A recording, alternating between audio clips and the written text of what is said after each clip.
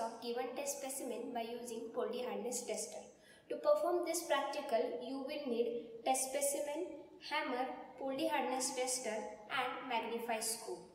While performing this practical, I have taken aluminium, brass and mild steel as my test specimen. And I am going to measure the hardness of these materials by using Poldi hardness tester. So let's get acquainted with Poldi hardness tester first. This apparatus is called as Poldi hardness tester. It is having very simple design and construction. Basically, it is made up of outer steel tube, solid plunger and steel ball at the downside.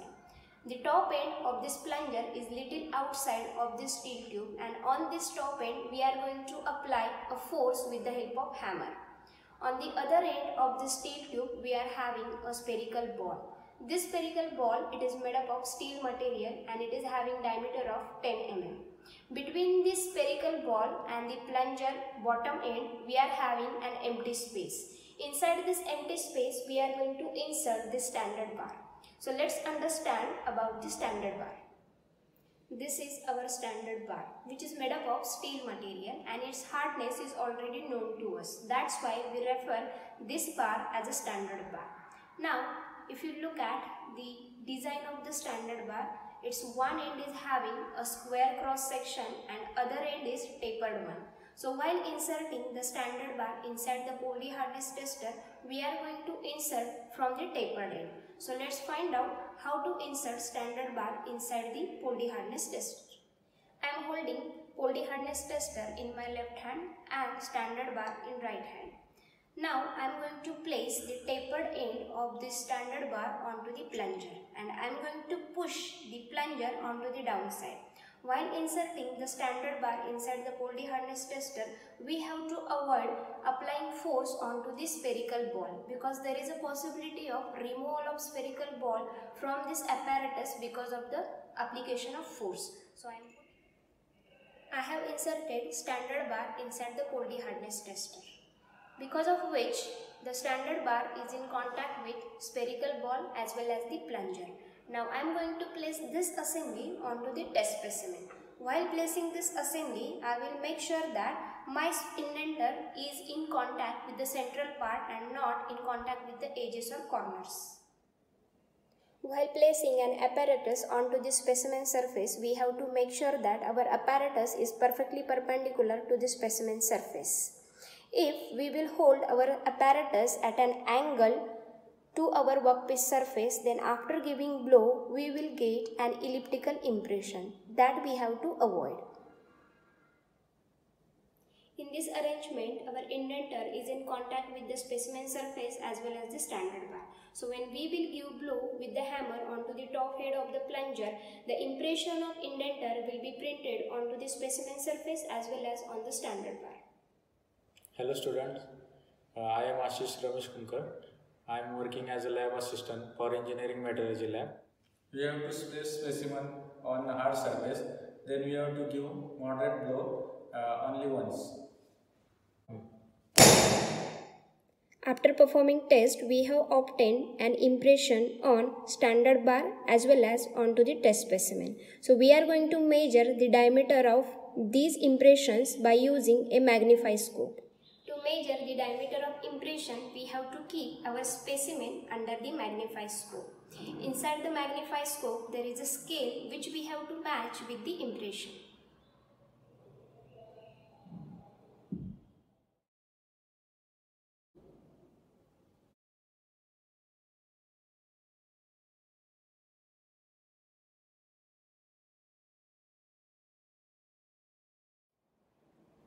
By using magnify scope, I have measured the impression diameter on test specimen as well as standard bar. With these two values, we can determine the hardness of given test specimen by using two methods. In method 1, we can use the chart which is provided with Poldi hardness tester and in second method, we can use the mathematical formula to determine the hardness. So let's find out the hardness of test specimen by using chart.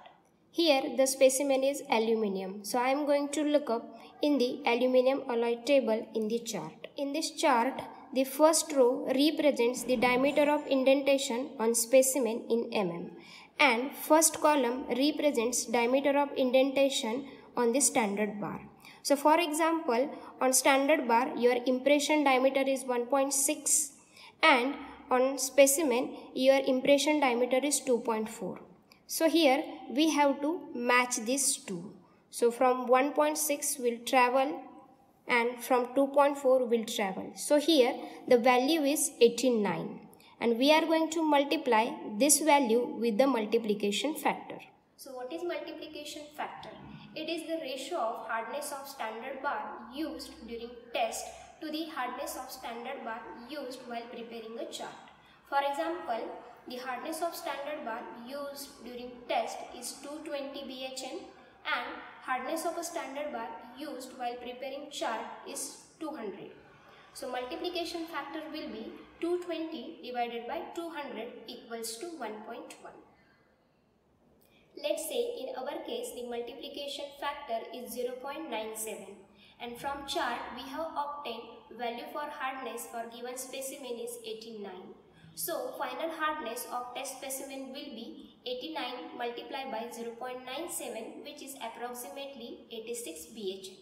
We can also determine the hardness of given test specimen by using mathematical formula which I have displayed on my left hand side. So we have seen how to measure the hardness of given specimen by using Poldi hardness tester which is the very easiest and simplest method of measuring the hardness. The Poldi hardness tester is a portable and you can perform this test on a specimen having size from small to large. By using this method, we can measure the hardness of different metals. But the accuracy of measurement will be dependent on skill sets of tester.